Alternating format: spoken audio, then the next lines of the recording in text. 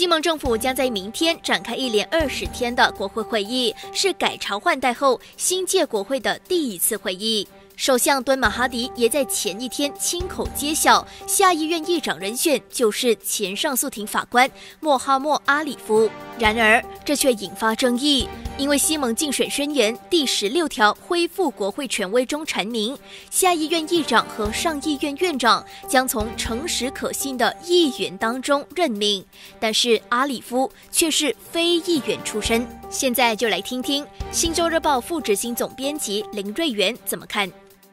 西门决定让前上诉庭退休法官穆哈默阿里夫担任下议院议长，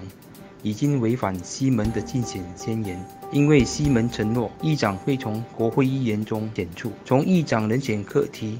可以看出西门内部的角力。由于委任内阁部长是首相的特权，所以公正党及行动党推荐的一些人选最终没有入阁，他们都无法提出抗议。但议长职是根据议席数目来推选，因此他们极力争取。可能是西门成年党无法达至协议，才导致议长人选一变再变。之前是挑选公正党的双期大连国会议员兼公正党国会党鞭纳多佐哈利出任议长，但佐哈利也是击打俄伦区州议员，一旦他担任议长，就必须辞去州议席。